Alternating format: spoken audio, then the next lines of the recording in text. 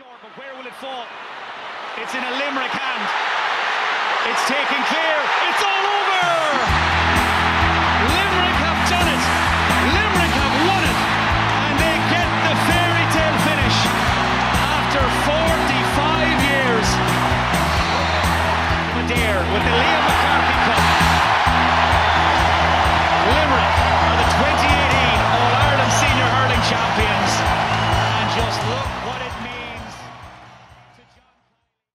So in 2018, we probably had one of the best hurling championships of all time.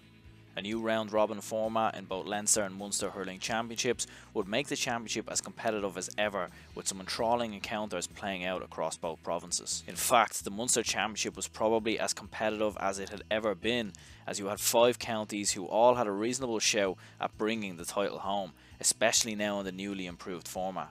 Firstly, you had the 2017 Munster champions Cork, who had all stars like Patrick Horgan in their ranks.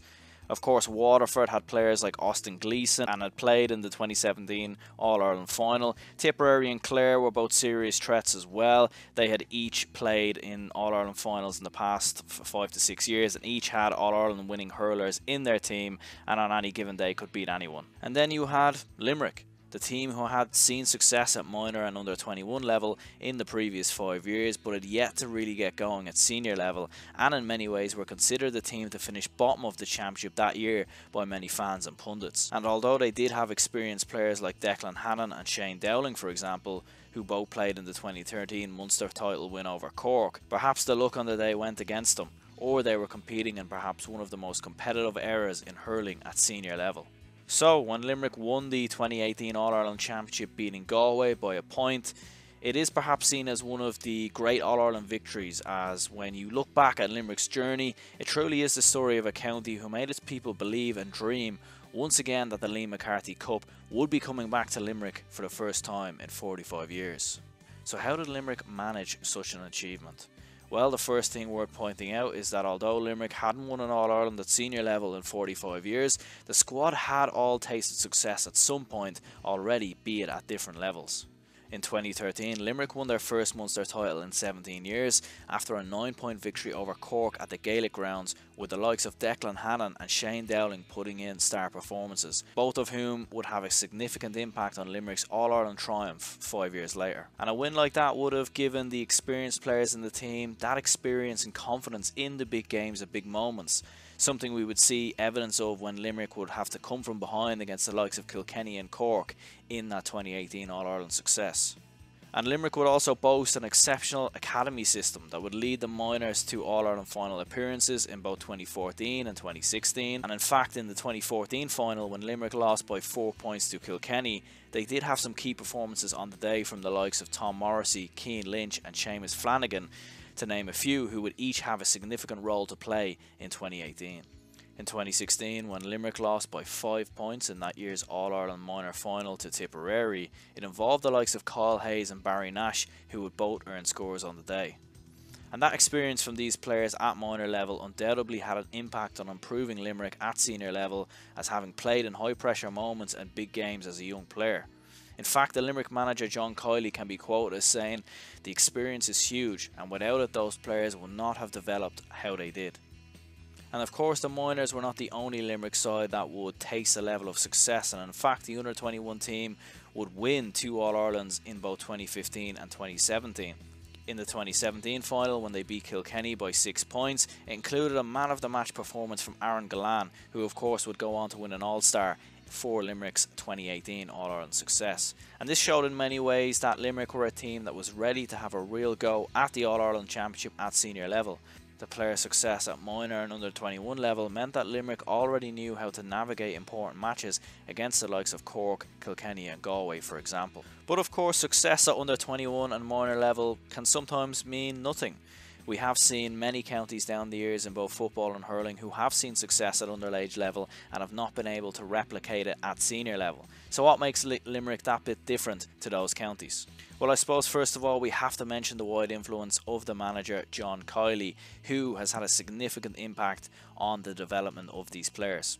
John will already have a good relationship with a lot of these players by the time he would become manager of the Limerick side, as John was part of the management team that seen them win the Munster title back in 2013 and was also the manager of the under 21 team that won the All Ireland in 2015 over Wexford. John was no more than a squad player for Limerick in his playing days, but his knowledge and dedication to the sport meant he kept in close contact with senior members of the Limerick County Board. In 2009, when Limerick were beaten by Tipperary by 24 points, he immediately begun his pursuit to get involved and help out at any level he could. From there, John began his journey into management and was part of the team that won the 2013 Munster Championship and was the under 21 manager back in 2015 that beat Wexford by 16 points in that year's under 21 All Ireland final. And by the time the 2018 season came around, John had already been the manager of the senior team for two seasons, gaining that bit more experience required to lead Limerick to glory that year and John is a man whose principles are focused on team unity, strength, and focusing more on the collective group rather than individual talents. He was always willing to put the team and group ahead of anything and has said in the past the respect that each other player has for each other is more important than any All Ireland title they will ever win. And in my opinion, this is something that allowed the Limerick players to play without pressure and have the freedom on the pitch that they might not have had otherwise. They also work very well as a team, and we can see evidence of that from when they trail both Kilkenny and Cork and have to fight back to get the victory on those days. Limerick is a team that presses high up when they don't have the ball, and when they have possession, they move the ball quickly and focus on the accuracy of their forwards to get the scores they need on the day. And the fact that John had worked with the majority of these players at some stage during his management career, to me means that he knew each individual player and how exactly to get the best out of each of them. And when you factor all this together, it meant that Limerick were too hot to handle for any county who played them in 2018. And as the unknown quantity, they capitalised in moments when other teams had let their guard down. Their performance in the final against Galway was exceptional, with 12 different players on the day scoring, with Aaron Gillane and Kyle Hayes the standout players on the day. And even when Galway narrowed an 8 point deficit to 1 point in injury time, they still kept their composure and belief that they would eventually get over the line. And when Joe Canning's last minute free dropped short and was snatched by the Limerick defence, they finally had the moment every Limerick fan had waited for. 45 years of waiting for the Liam McCarthy Cup was finally over. Limerick were All Ireland champions 2018.